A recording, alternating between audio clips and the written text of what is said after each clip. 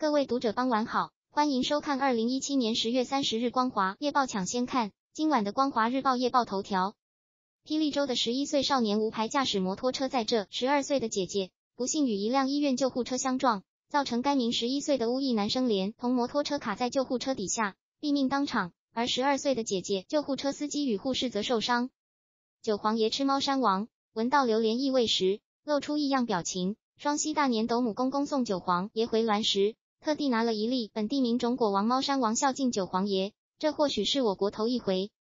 台北公寓凌晨夺命大火，一家四口葬身火海。台北市延平北路一栋公寓周日凌晨三时许发生夺命火警，消防员接报赶抵现场灌救，将火势扑灭。随后在四楼单位发现四具尸体，经警消初步调查，疑为电线走火酿成火警，详细原因仍有待调查。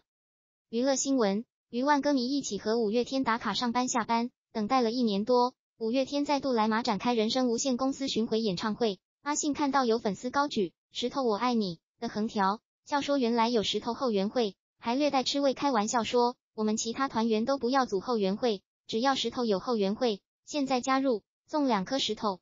以上就是今天的光华夜报抢先看，欲了解更多新闻资讯，请翻阅稍后推出的光华日报，阅读愉快。